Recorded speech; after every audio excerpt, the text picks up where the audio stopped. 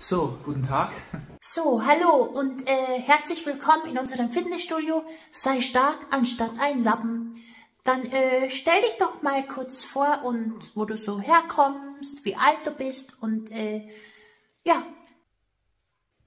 Ja, mein Name ist David Janowek, bin 23 Jahre alt und äh, ja, ich bin männlich, äh, sieht gut aus, sieht man ja, Zwinker. Und ja, ja, ich habe mich beworben als Athlet. Ne? Ich bin schon sehr sportlich, also. Hm, okay, super. Äh, also wenn ich mir so deine Unterlagen angucke, hm, sehe ich schon, dass du zehn Jahre den Sport machst. Das hast du in dem Schreiben, Anschreiben erwähnt. Ist schon ziemlich Wahnsinn.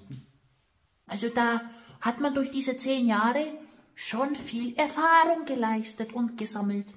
Und da wir auf Instagram und TikTok deine Videos gesehen haben und wertgeschätzt haben, nehmen wir dich gerne auf in unserem Fitnessstudio. Sei stark anstatt ein Lappen.